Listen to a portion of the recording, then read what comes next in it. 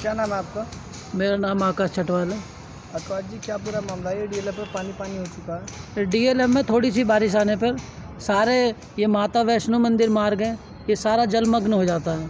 अच्छा नगर निगम का क्या इंतज़ाम है? नगर निगम बिल्कुल भी कोई ध्यान नहीं देता है कि नगर निगम से मेयर से ही मिल गए पार्षद से भी कहा यहाँ की समस्या कभी ख़त्म नहीं होती। तो पार्षद कोई समस्या कम नहीं करते हैं यहाँ पे?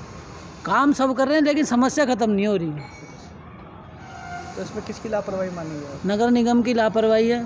तो? और जो यहाँ के क्षेत्रीय पार्षद हैं उनकी भी कमी दिखाई देती है कुछ ना कुछ क्योंकि यहाँ के पंप खराब हैं।